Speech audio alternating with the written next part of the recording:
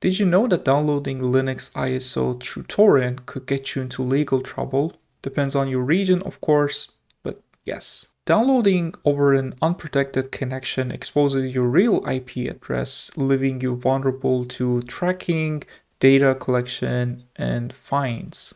Hey everyone, welcome back to the channel. In this video, I will show you how you can torrent safely and anonymously. Let's talk about risks of unprotected torrenting. Wait, that doesn't feel right. So let's get into the specifics of why torrenting without protection can be risky. When you download or share a file through torrent, you're actually joining a peer-to-peer -peer connection network. In this network, your torrent client connects directly with other people, known as peers who are downloading or sharing the same file. Here's the catch. When you connect to this network, your IP address is visible to every other peer in that pool. This means anyone, including data trackers, can see your IP and match it to the file that you're sharing or downloading. Nowadays, torrent networks are often monitored by agencies and copyright holders who are on the lookout for illegal downloads. And I mean Linux ISOs, of course.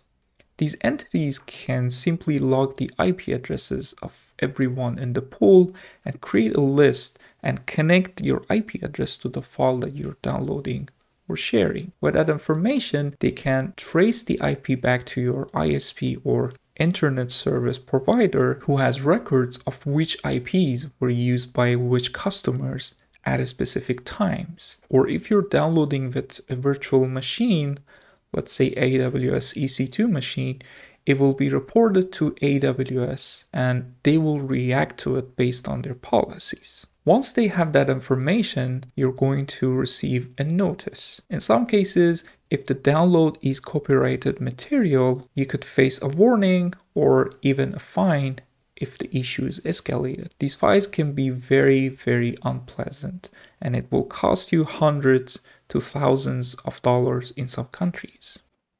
To avoid this, using a VPN to mask your IP address is essential when you're torrenting as it protects your privacy and prevents your real IP from ever showing up in the peer-to-peer -peer network. If you are not sure about picking a VPN provider, I would highly recommend TechLore VPN Toolkit page.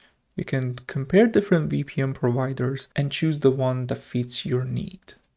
I've been using Deluge for a couple of years now and it's a very good and stable tool. So I've decided to use Deluge for this example. Our next tool is Gluetun.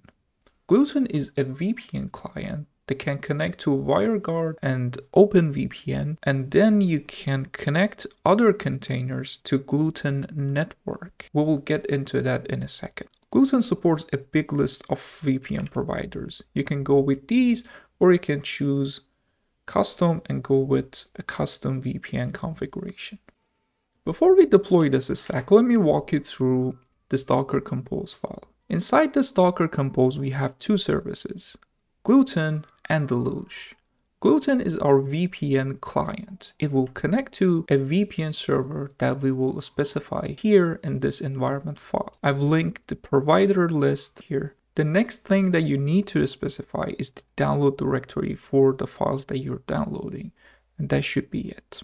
In our deploy file, I've added this line to pick up the torrent file and deploy it on this IP address.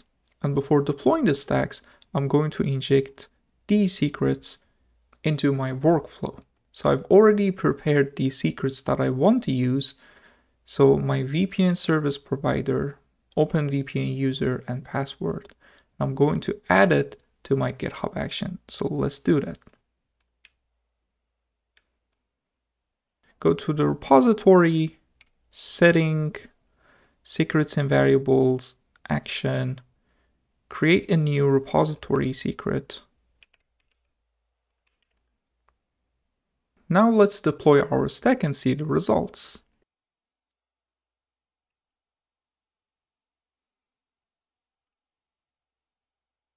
And welcome to Deluge. This IP down here is not my IP, which means our setup worked just fine. And if I use some IP locator tool, we can see that this IP is in Japan, which I'm certainly not in Japan. But to be even more sure, we can use TorGuard's check my torrent IP page. Just right click on this green one, copy link, go to Deluge, add URL and add it. And after you click on add, it will show up right here. As you can see, this IP is matching this IP down here, which is not my IP. And there you have it. With Deluge running behind a VPN protection, you're now torrenting securely. Remember, staying anonymous isn't just about avoiding legal trouble, it's about maintaining your privacy and peace of mind online.